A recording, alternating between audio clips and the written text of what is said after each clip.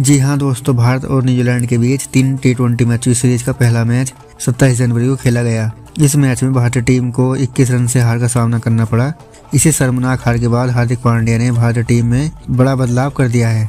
पहले T twenty match में New Zealand के कप्तान ने टॉस हारकर पहले बल्लेबाजी करने का फैसला किया। न्यूजीलैंड की टीम की शुरुआत तो सही नहीं रही, पर डेरन कॉनवे और मिचेल ब्रेसवेल ने न्यूजीलैंड की पारी को संभालकर अपने टीम के स्कोर को एक सौ छिहत्तर रन तक पहुँचा दिया। एक सौ छिहत्तर रन के लक्ष्य का पीछा करने उतरी भारतीय टीम की शुरुआत से ही नहीं रही और 30 रन पर ही अपने तीन विकेट गंवा दिए। सूर्य कुमार यादव और हार्दिक पांड्या ने भारतीय पारी को संभालकर स्कोर को 80 रन के पार पहुँचाया। सूर्य और हार्दिक के आउट होने के बाद वाशिंगटन सुंदर ने भारतीय पारी को ये मैच जिताने की कोशिश की, पर भारतीय टीम के बॉलर सुंदर का साथ नहीं दे पाए। सुंदर ने 28 गेंदों में 50 रन की पारी खेली। भारतीय टीम इस मैच को 21 रन से हार गई है।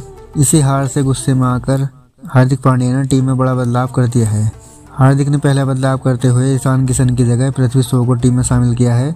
ईशान किशन इस समय खराब फॉर्म में चल रहे हैं। वही तेज गेंदबाजी की बात करें तो हार्दिक पांड्या ने बदलाव न करते हुए उमरान मलिक, अर्शदीप सिंह और शिवम मावी पर ही भरोसा जताया है। उम्मीद है भारतीय टीम दूसरा मुकाबला जीतकर सीरीज़ एक एक की बराबरी करेगी।